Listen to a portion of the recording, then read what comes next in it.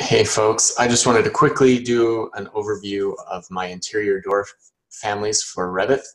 Um, this is something I've been working on for a long time because when I go to do residential architecture, the hardest part is finding doors that jive with each other. If it's not, if I want a door that's not just part of a standard door, like a swinging door or even a bifold door, um, the out of the box Revit doors are not that great. They don't look awesome in 3D if I'm showing a client. And um, if I try to find unique doors like a barn door or something, it, they don't typically fit with the other doors that I've gone out and gotten for free somewhere or have tried to make myself. So I've sat down and made a very consistent set of doors with consistent parameters in a style that looks good in 3D and they all match each other and so I just want to go over those real quick and show you. Right now, I've got three different styles. Um, over here, there's a traditional set, there's a craftsman style, and a kind of a more modern style.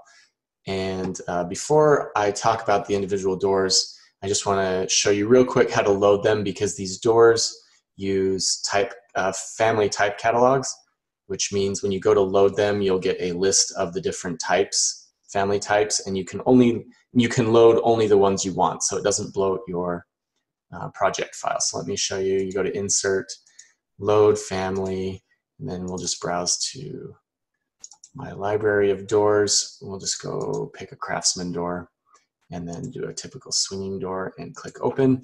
And then you get this huge list of all your different options. And this is great because I typically am only going to use one height so you can see down the list, here's all the 80 inch doors, 84, 96 inch doors, right? So I'm, for my project, let's say I'm only gonna do 80 inch high doors and I'm not gonna do anything under 24 and I'll probably stop at 36. So I'm just gonna load those into this file and I've already loaded them, so I'm just gonna click out of there. But that way it saves you memory. So if you don't load them through that command though, like if I was to edit the family and then reload it back in, it won't bring up that dialog box. So just remember if you go and edit a family and want to bring it back in, load it uh, using the load family command in the project. Um, the other thing we'll go over real quick is just the standard parameters and maybe I'll show you what these doors look like in floor plan view.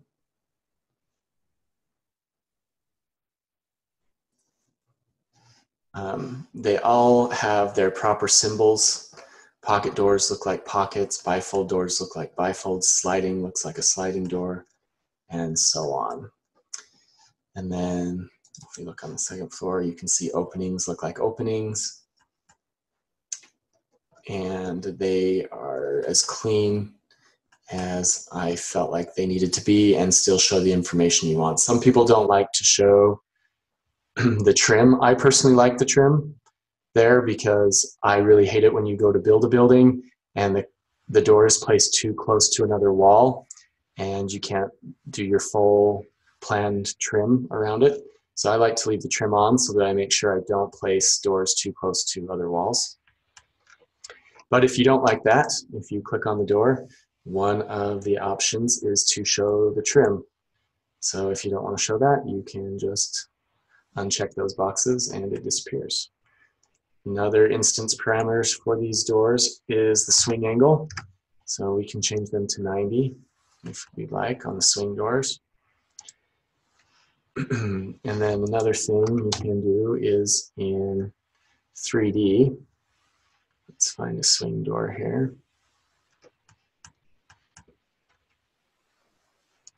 Or the barn door, really any of the doors, uh, you can shut off the hardware if you'd like so that the hardware doesn't show in 3D. You can do that here as well with the knob. Uh, we'll turn that back on. Then in elevation, you can see they've got the proper motion symbols on all of these doors. If you don't like to show the motion symbols, that is also a parameter that you can uncheck. If you don't like the sliding arrow, you can take that off. Then on the barn doors, if you click a barn door, If you'd like to show it open, that's a parameter I have written in there. So uh, you just click that box and then in 3D, it opens the barn door for you. So those are the instance parameters for the doors. Then we have the type parameters, which we'll open up real quick.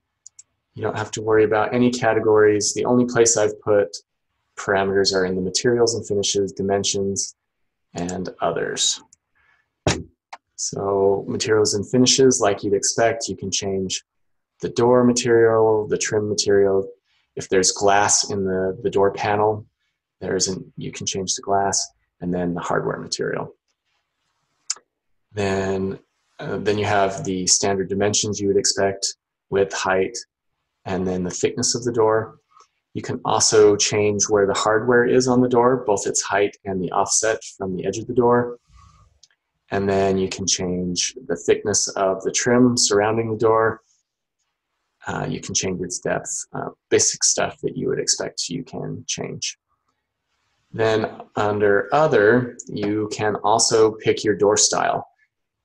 So depending on what set of doors, what style of doors you buy, um, I have Craftsman, modern, or traditional doors, and then I have a package that includes all of those doors, and then you'd have access to all the door panels. But depending on what you buy, changes what options you have here, but there's usually uh, three to four options, sometimes more. And so right now we have it as a three panel Craftsman. We can change it to a four panel. Then you can also pick your hardware style. So if you don't want a knob and you want a lever instead, you can change that. Uh, some of the other doors, like this is a swinging door, but um, like the barn door or the bifold doors, instead of knobs, they might have poles instead. So you can change those there. And then you can change your trim. So if you don't like the big craftsman style, maybe you want to do something more standard, just have like a generic vanilla rectangle door trim. You can change that here and then you click OK. And there you go. Now you've got a four panel door with generic trim and a lever instead of uh, what we had before. All right, so that is a real quick overview of my interior doors families. Uh, I hope you really enjoy them. Uh, if you have any questions or something breaks, let me know. I have done as much testing as humanly possible, but I feel like uh, there's always something to break in a family. So if you have any problems, let me know. Also, check out my other families. Um, they correspond in style and parameters and and all that so that um, if you buy my other families to go with these you'll have the same user experience and they work just as well and have as much logic as these do so thanks hope you enjoy